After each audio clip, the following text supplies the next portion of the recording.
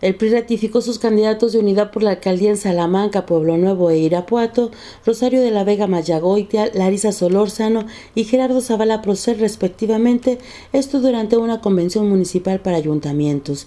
En Irapuato, Zavala Procel resultó ganador por mayoría de votos y fue recibido por su suplente Cuauhtémoc Prado, quien además es subdelegado administrativo de Cedesol. Más tarde presentó su plan de trabajo ante más de 400 militantes priistas.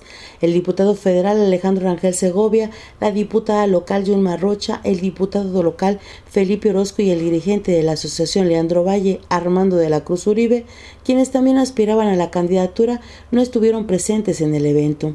En el salón de la universidad donde se llevó a cabo la convención estuvieron presentes funcionarios de Sede Sol como Miguel Ángel Ponce, coordinador de opciones productivas y personal de las oficinas de la delegación.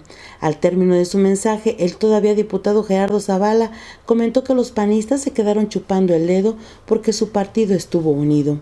Aseguró que él y su partido triunfarán en Irapuato, pues cuentan con los recursos, la coalición y el PAN es un partido en el poder desgastado. En tanto en el municipio de Salamanca, Salamanca, Rosario de la Vega, al igual que Larisa Solórzano en Pueblo Nuevo, fueron ratificadas como candidatas de unidad. Edith Domínguez, Zona Franca.